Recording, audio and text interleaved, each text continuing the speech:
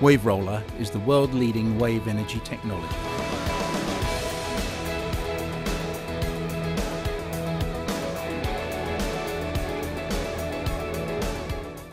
After successfully operating in a fully exposed marine environment over a two-year period, the Wave Roller pilot power plant was floated and brought to harbour in late 2014.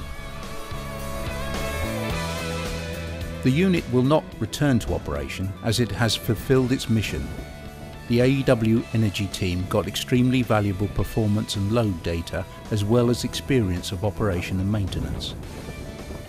All data was analysed independently by a third party, DNVGL, and found to be well in line with expectations. The unit has operated under a commercial grid connection licence for two years. Preparations to install the first commercial scale wave roller have accelerated. The wave roller hull will now be modified to house the first of a kind 350 kilowatt commercial unit to be installed by early 2016.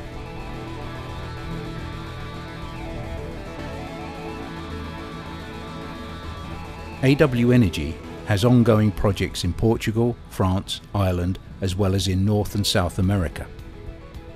In early June 2015, AW Energy hosted a prominent visit in Peniche as the Portuguese Minister of Energy, Jorge Moreira da Silva, visited the installation site and the wave roller at the ENP docks.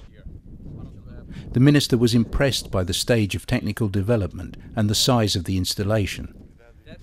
Minister da Silva has played a key role in the coming NER 300 project, where a 5.6 megawatt wave roller wave farm will be installed in the Peniche area. The wave farm will be one of the biggest in the world.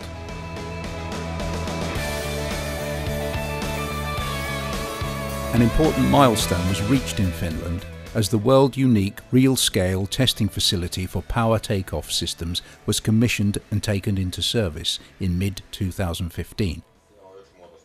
The impressive establishment is used to test and develop the heart of the device, the real-scale PTO.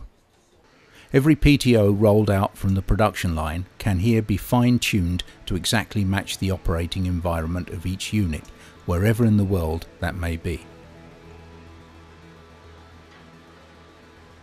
To further improve quality at all levels, AW Energy is following a certification program by Lloyd's Register for a full certification of the wave roller technology.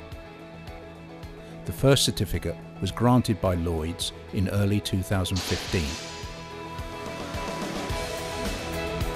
Wave Roller.